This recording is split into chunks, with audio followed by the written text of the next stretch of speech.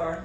So you have one, two, three, four, five. So you're gonna be in charge, Michael, of the direction. Mhm. Where are you going? So you need to redirect. And as you're gonna start start moving around her, this is where she's gonna rotate. And now you're gonna take a small step and, and then you're gonna help her rotate. And then again, you need to decide which direction you're going. Are you going that way, that way, or that way?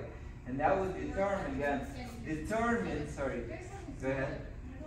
I decide how much rotation, and they'll determine where she goes. Or sorry, I, I, I determine which direction I'm moving. Whether I'm moving there, or if I want, and I want to move line of dance, or if I want to like be a crazy person and go and go that way, which I don't recommend.